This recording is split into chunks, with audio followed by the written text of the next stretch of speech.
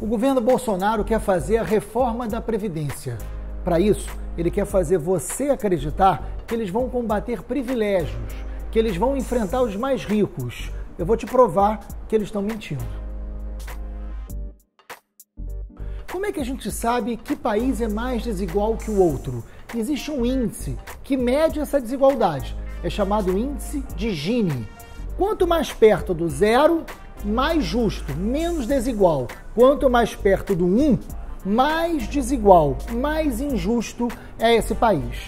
O Brasil, na sua população até os 60 anos de idade, o índice de Gini é de 0,59. Porém, se nós pegarmos a população com mais de 60 anos de idade, essa desigualdade no índice de Gini cai para 0,39.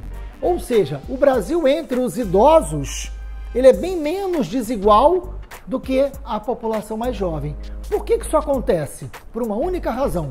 Existiu no Brasil até hoje a Previdência Social. Hoje, nós temos um sistema de repartição, onde governo, empresários e trabalhadores contribuem para a Previdência. Uma geração sustenta a outra. Eles querem acabar com isso. Paulo Guedes está propondo um sistema de capitalização. O que, que é isso? O próprio trabalhador junta dinheiro, como se isso fosse possível, para garantir a sua própria aposentadoria. Governo e empresários não dão mais nada. E o pior, quem vai lucrar com isso, quem vai administrar o seu dinheiro, são os bancos.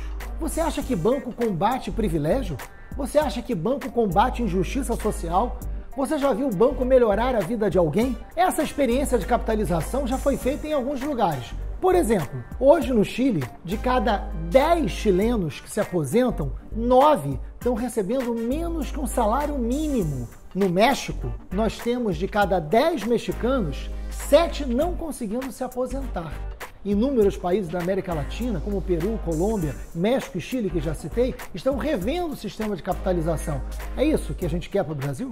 Acesse o nosso site, se cadastre para receber as informações de receber todas as nossas propostas.